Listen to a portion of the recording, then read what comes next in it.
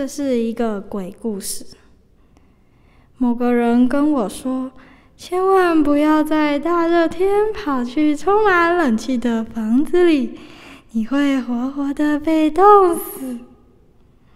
就算你没被冻死，你也会因为内外温差太大而当场死亡。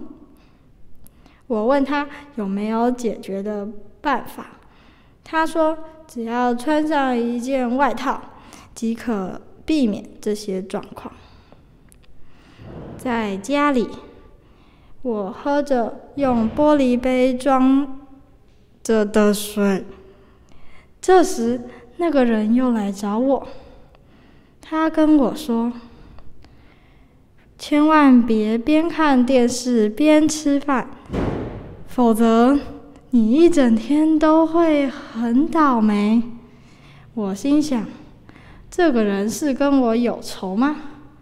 之后我在吃玉米的时候，他也在我旁边叽里呱啦的吵死人了。在八点的时候，我骑着脚踏车出门。他也像鬼一样跟着我。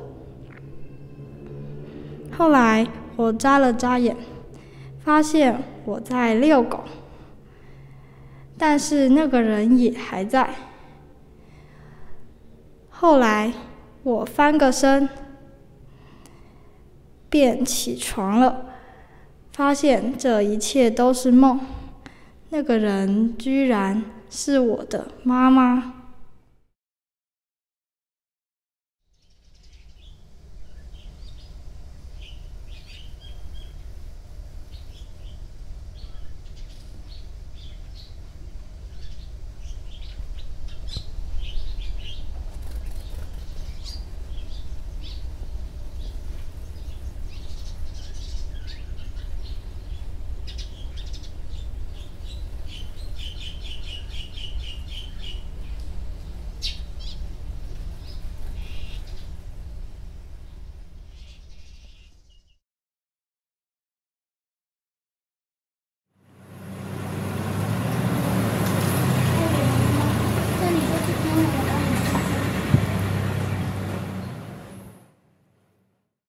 从前，这条街上有一对感情非常好的姐妹花。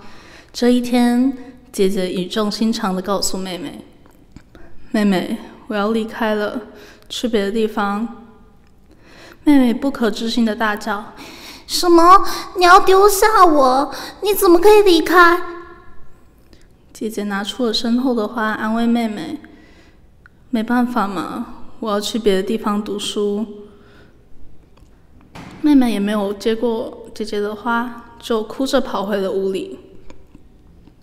隔天，姐姐还是要离开，她看了看手中妹妹没接过的花，再看了看她的房门，默默地放在了她的门口，拖着行李离开了。这时，躲在门后的妹妹也冲了出来：“姐姐，你不能走！姐姐，你回来！”最后，姐姐还是走了。在姐姐走后，妹妹手里的花发出了一阵蓝光。我带你去找她。这朵花又会带着妹妹怎么样的找到姐姐呢？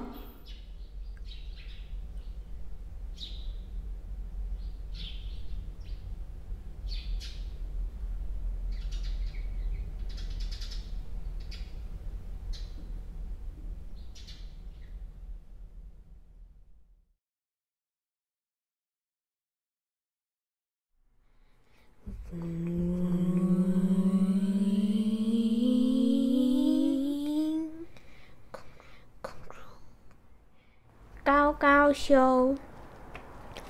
有一天，一群外星人搭着太空船来到了地球，他们叫高高修。Hello，What are you saying？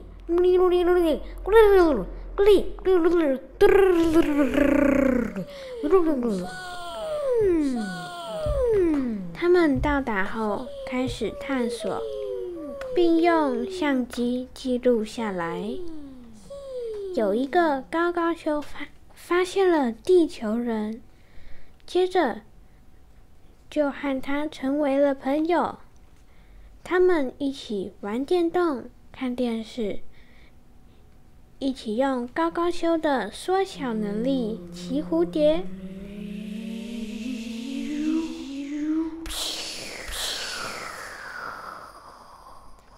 最后，刚刚修就带着他们的相簿回家了。拜拜。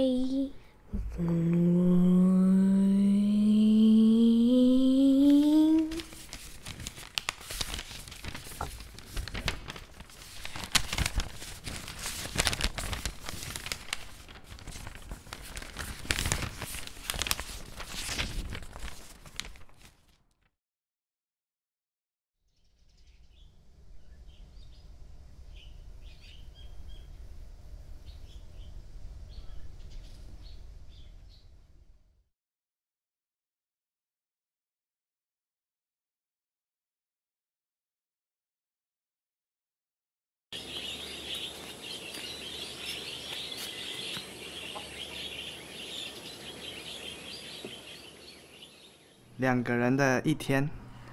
Hello，早安。早安呢、上学时间快到了，我们赶快去上学吧。好啊，我们先去吃个美而美吧。OK，到学校了，那我们就去认真上课吧。好啊，放学，那我们要不要开法拉利去偷玩一下？好啊，那我们去溪边玩好了，那么热。嗯，好热哦，我们去玩水好了。对啊，夏天玩水真的是太棒了。对啊，我们还是我们去旁边逛一逛吧。好啊，旁边有保保龄球馆呢，我们要不要去打一下保龄球？真好玩啊，肚子很饿哎。那我们去海边野餐吧。好啊，顺便看星星。那我们，哎，吃饱了，那我们去看一下电影吧。好啊，刚刚电影真的是很精彩耶。对啊，我们去买点东西好了。好啊，选料怎么样？OK 啊，名牌我的最爱。真是充实的一天。对啊，希望我们有机会还可以这样一起玩。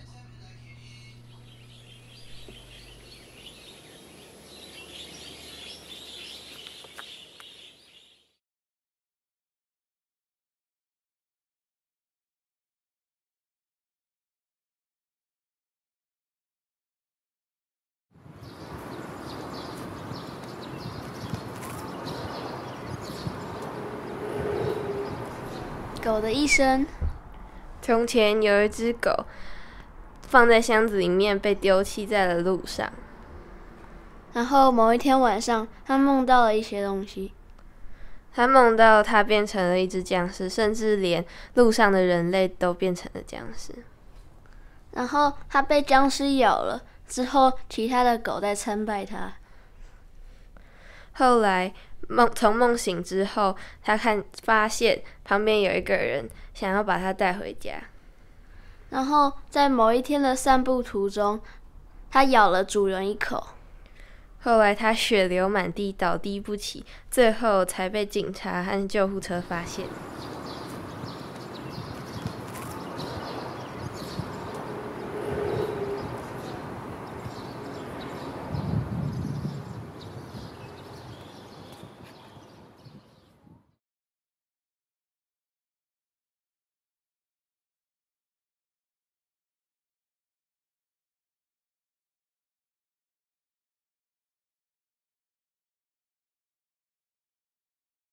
这是一个我与花莲这块土地的故事。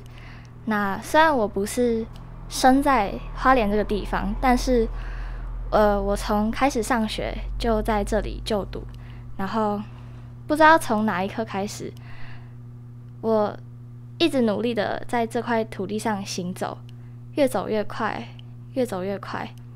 我盼望着那模糊的、理想的、更好的自己。就像是墙上没电的时钟，还是会无意识的在看它两眼，像是在安静下来的瞬间，浮现出我与夏日蝉鸣。我在最后要离开前，才发现我不知道自己到底是谁，身处在何方。所以这个故事，我想献给我最亲爱的花莲与要离开此地的自己。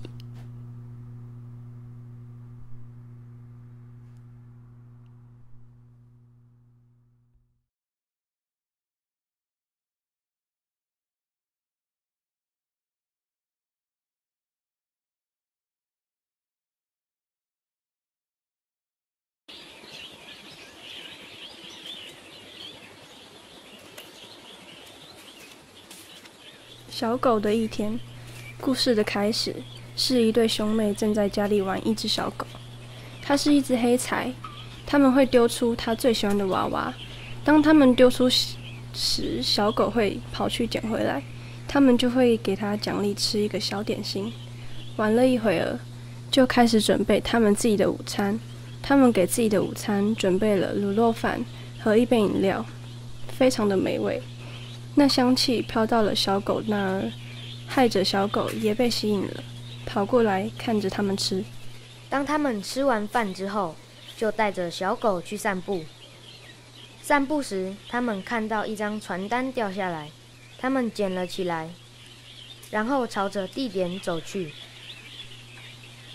到了那边，有个奇怪的房子，他们好奇地走了进去，发现好多狗狗。有专属于狗狗的篮球机等设施游玩，最后他们还去跟狗狗们一起玩，过了愉快的一天。